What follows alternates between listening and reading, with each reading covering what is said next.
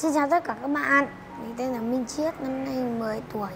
Các bạn đã bao giờ phải sống xa bố mẹ chưa? Một ngày, một tháng hay một năm? Còn mình, mình phải sống xa bố mẹ năm mình tròn 8 tuổi. Ngày hôm nay, mình rất vui khi được đứng ở đây để chia sẻ cho các bạn về ước mơ của mình. Ai cũng có mơ của riêng mình, biến ước mơ trở thành hiện thực là một điều thật sự hạnh phúc phải không? Ước mơ lớn lên trở thành một cầu thủ bóng đá chuyên nghiệp luôn ở trong tim của mình. Bởi vậy, ngay từ nhỏ mình đã phải sống xa bố mẹ và những người thân yêu để đến với trung tâm đào tạo bóng đá trẻ TNT Bắc Giang. Ở đó mình được học rất nhiều kỹ thuật, chơi bóng hay và quen những người bạn tốt.